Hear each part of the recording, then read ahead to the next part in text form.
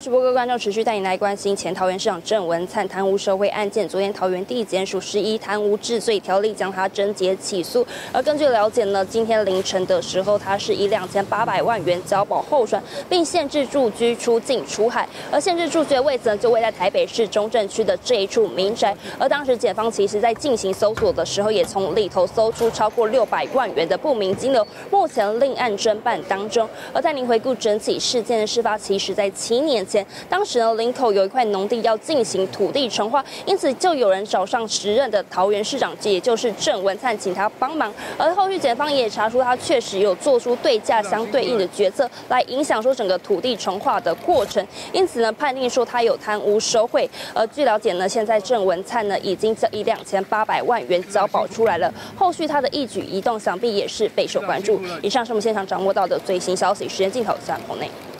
立刻下载“静新闻 ”App，一手掌握新闻时事，尽善尽美，尽好新闻。